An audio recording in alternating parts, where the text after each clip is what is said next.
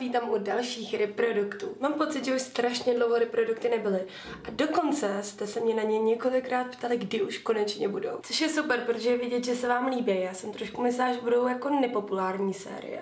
Ale těší se velký oblibě a podívejte se, co já mám. Já už jsem je fakt musela natočit, protože nemám kam to dávat. Jako první tady mám kondicionér od Osí, tohle je jejich volume řada a já mám jenom kondicionér, neměla jsem ten šampon a přišlo mi, že teda rozhodně žádný volume to teda neudělalo. Nevím, asi bych ho znova nepotřebovala. Potom tady mám tenhle šampon od Ballet, tenhle je mangový polibek pro Lucku. Tohle to jsme dostávali jako blogerky udělaný od DMK, že tam máme naše jména. Asi to ani nechci vyhodit. Upřímně ten šampon nebyl nic velkého, prostě to byl takový obyčejný šampon, nevím asi úplně ani, co si o něm mám myslet. Oni fakt jako pěkně, ale asi to nechci nikdy vyhodit, protože Další balácká záležitost, tohle je Frozen Breeze limitka letošní zimy, nebo vlastně už minulý zimy. Víte, co myslím. Vonila krásně a kež by udělali zase další rok něco hodně podobného. Mám tady odličovač od Dermaculo, tohle má být na voděodolní věci, byl dvoufázový. Na mě byl strašně mastný. Mám pocit, že odličovač od L'Orealu odličuje líp a není tak mastný. Z tohohle jsem vždycky strašně nadšená, když dodělám nějaký mazadla na tělo, protože mě to vždycky trvá 100 let. Tohle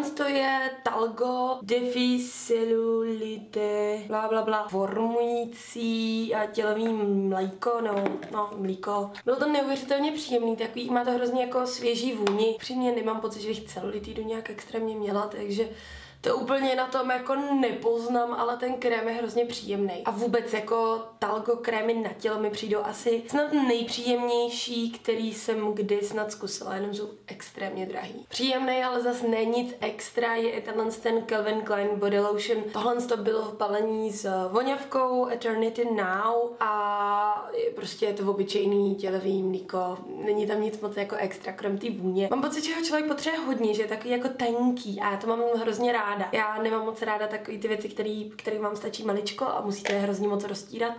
Mě to prostě nebaví. Podobně tenký, jako by mlíko. Je i tohle z Elizabeth Arden, Visible Difference, bla bla bla bla bla. Já to mám přes půlku a tomuhle z tomu bude asi už podle mě klidně čtyři roky, to už potřebuje prostě vyhodit. Já jsem tohle toho měla doma, nepoužívala jsem to, pak jsem to různě hánězala do tašek od fitka, do beku, prostě na tenis a nikdy jsem tady tohle toho nepoužívala, já nevím proč, ale ať jsem zkoušela, co jsem zkoušela od Elizabeth Arden, tak mi to přijde prostě pak tady mám nějaké věci, které jsem dodělala na cestách a já mám různě pokládaný v mobilu, abych vám o nich mohla říct. Vím, že jsem dodělala body lotion od Versace, taky je to jako ta verze vlastně k voňavkám. Já to mám ráda na cestování, protože je to malý a to mlíko zase bylo úplně stejný něco jako ten Calvin Klein. Potom v Číně jsem dodělala kondicionér od Body Shopu, který měl být bez parabenu a bez já nevím čeho všeho a přišel mi naprosto v obyčejný, nic extrémního jako nedělal, nebyl ničím výjimečný. Já tady mám Tony Guy, jejich řadu pro jemný vlasy vlasy. Kondicionér jsem dodělala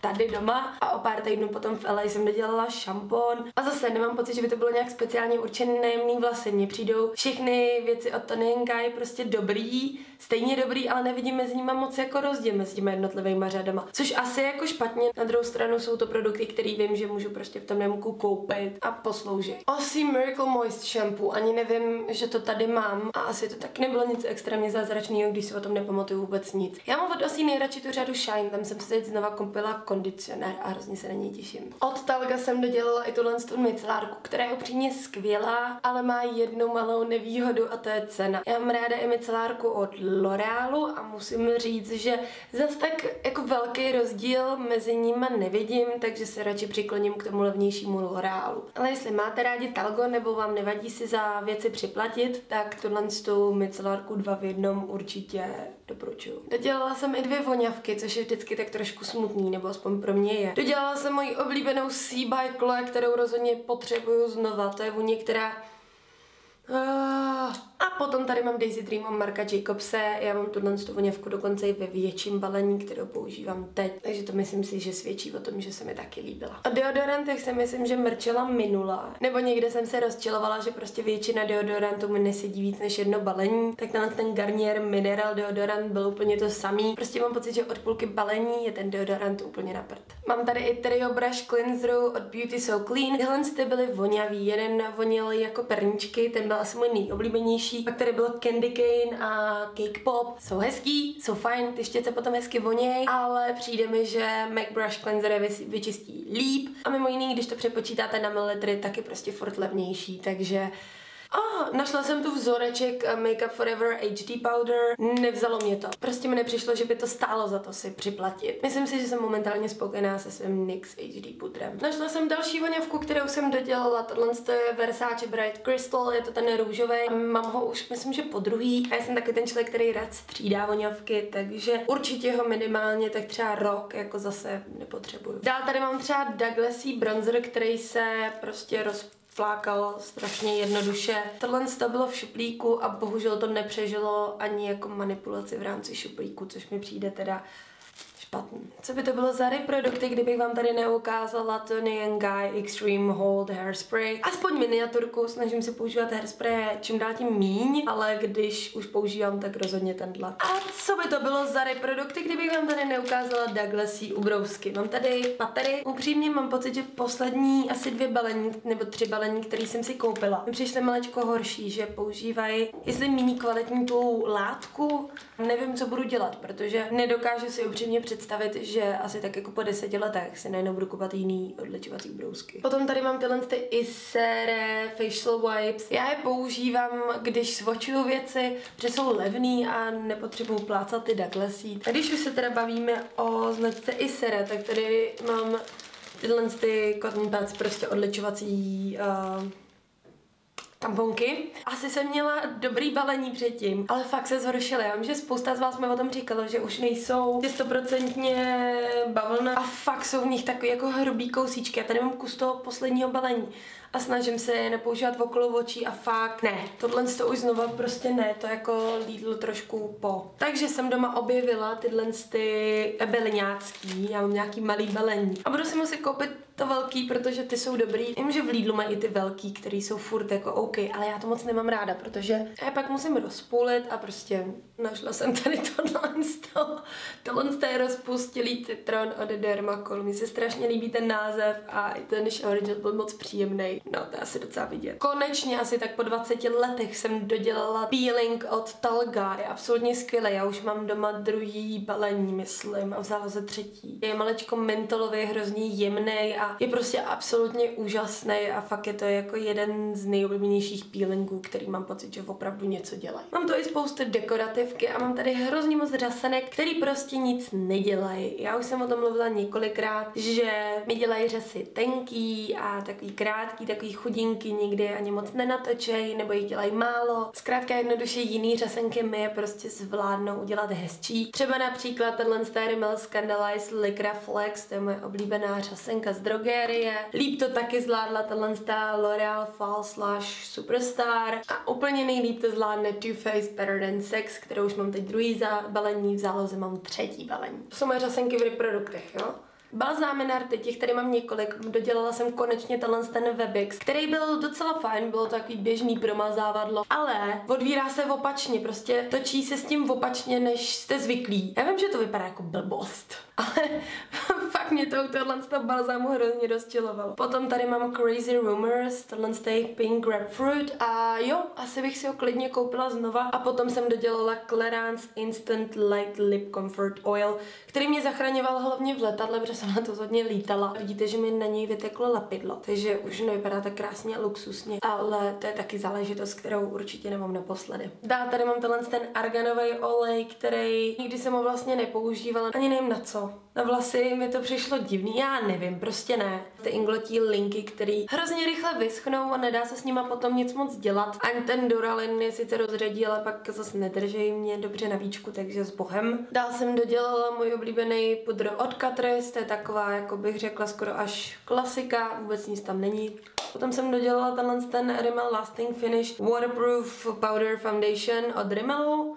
Proto už jsem říkala, že asi Rimmel, že jo? Tenhle produkt já jsem v objevech a přešlapech sepsula, protože jsem ho brala čistě jako pudrový make-up a to mi přišel strašný. Ale jako pudr nebyl až tak úplně blbý, on je opravdu hezký, jemně namletej. A zjistila jsem, že ve chvíli, kdy mám lehký make-up a chci jako přidat maličko krytí, no třeba během dne ten make-up trošku poupravit, tak tohle to na to bylo dobrý. A až mi dojde Urban Decay pudr, který teď používám uh, stejným způsobem a který jsem taky sepsula, tak si myslím, že tohle to bych si klidně koupila znova. Dál slavte, protože jsem dodělala make-upy. Yes! Mám tady Rimmel Lasting Finish a mám tady Rimmel Match Perfection, tohle je ta 010 Light Porcelain verze.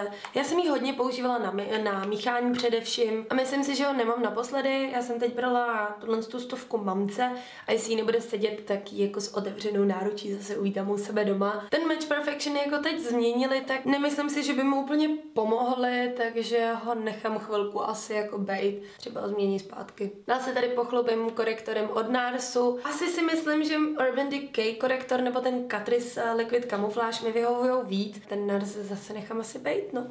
Potom tady mám Urban Decay Brow Beater, tušku na obočí, která byla skvělá. Určitě bych si ji zase koupila znova, až dodělám to, co tady mám. Vidíme, jestli to netrumfne tuška od NYXu, ale je to jedna z mála z těch malinkých hezkých úzkých tužek na obočí, která mi tím množstvím produktu vydržela asi tři měsíce, což si myslím, že je docela dobrý. Tohle bejvával Lush experimentátor, který už podle mě není a doufám, že ho zase jako někdy přivedou na trh, protože ten byl skvělý, byl super barevný. Pak tady mám jejich R&B krém na vlasy. Tuhle záležitost asi nikdy zkoušet nepotřebuju, protože jsem si tím eh, napadla jsem si to na vlasy. Smila jsem to, fénu vlasy a furt mi přišly mokrý a pak jsem zjistila, že nejsou mokrý, ale mastný a musela jsem si jít umýt vlasy ještě jednou, takže za mě R&B rozhodně ne. A potom tady mám kondicionér Happy Joy, který mi teda taky nepřišel nějak extrémně úžasný. Našla jsem tady hodně špinavou Biodermu Sebium Pore Refiner. Tenhle ten krém já jsem používala něco mezi krémem a primerem jakoby a bo v téhle kategorii už jsem našla jiný favority, třeba od Clarins nebo od Killsu, takže já tady to znova nepotřebuju, ale jestli hledáte nějaký takovýhle produkt, tak tenhle ten byl fajn. Suchý šampóny, to je další kategorie produktů, kde tápu.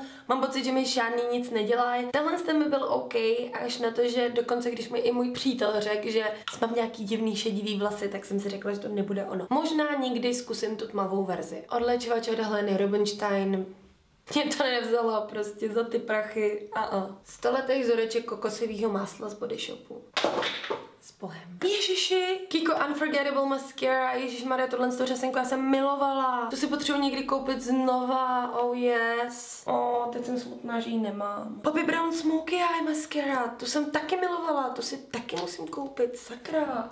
Estée Lauder Candy rtěnka, kterou já jsem vždycky milovala, mě se zlomila, tak jsem ji dala do takového kalíšku. Já ji prostě v tomhle vůbec nepoužívám. Stoletý Clinique Deep Comfort Hand and Cuticle Cream. Evidentně nic moc, protože tam ještě tu ne. Dodělala jsem Žernetic Synchro, který je super na exémy, jizvy, prostě všechno, co potřebuje promastit. Já jsem to používala hlavně teda na jizvu po operaci lokte. Je to jeden z takových těch zázračených krémů, který prostě máte doma a fungují úplně na všechno a jsou skvělí. Jsou sice drahý, ale jsou skvělí. Lancome Makeup v houbičce. Ten by byl dobrý, kdyby držel a kdyby to bylo trošku hygienický. Kill Superbly Smoothing Argan Shampoo.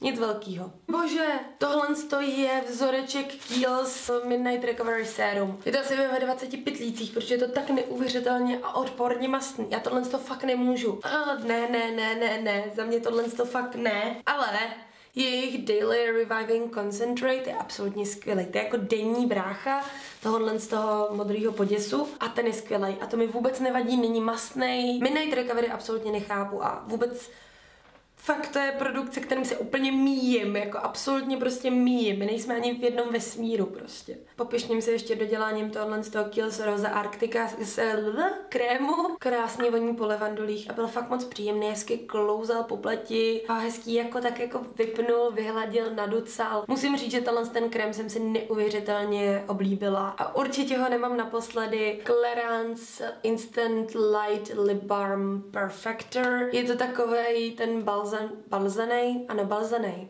barvený balzámek, který krásně voní, je hrozně příjemný. Já bych ho asi příště brala v nějaký lepší barvě, tahle ta byla na mě hodně světlá. Pak jsem se rozhodla vyhodit konečně tyhle Estée Lauder lesky, který to se mnou táhnou podle mě už třeba jako pět let a furt tam je teda hodně zbyteček. Furt krásně vodí, furt jako mám pocit, že jim nic není.